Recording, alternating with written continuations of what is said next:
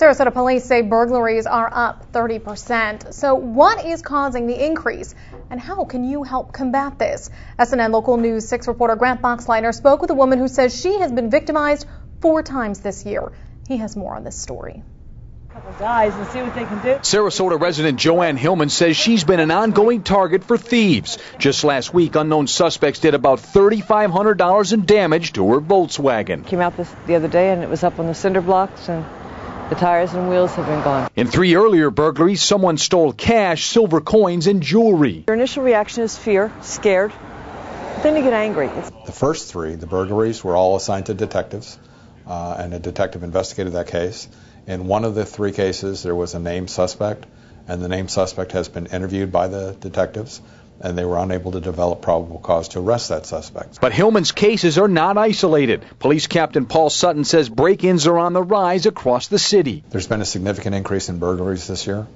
Uh, there's been about a 30% increase in burglaries compared to the same time period last year. And Hillman says she can't help but wonder if past cuts to the police budget are making the problem worse. They're not saying that they're strapped too thin, but I feel they are. They used to have you know, every I could count every 15, 20 minutes there would be a police car going by. Records show that in 2007, the Sarasota Police Department had an all-time high of 204 officers. Through recent budget cuts, that number is now down to 176. When we made those staff cuts, we tried uh, to spare the officers that actually respond to calls, the patrol division, and also the criminal investigation division the portion of the division that do follow up for major case investigations. Sutton says factors that may contribute to the recent spike in burglaries include high unemployment rates and an increase in vacant homes. Empty houses were noted by police in Hillman's burglary reports. We're canvassing her neighborhood and we're finding vacant residences.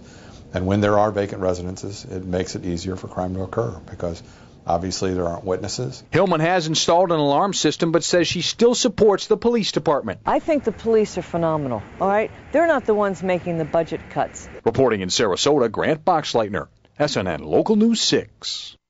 Sarasota police say residents can help reduce residential burglaries by reporting suspicious activity in their neighborhoods immediately. Now, index crimes in the city are up 15% so far this year. Those offenses include murder, robbery, aggravated assault, and grand larceny.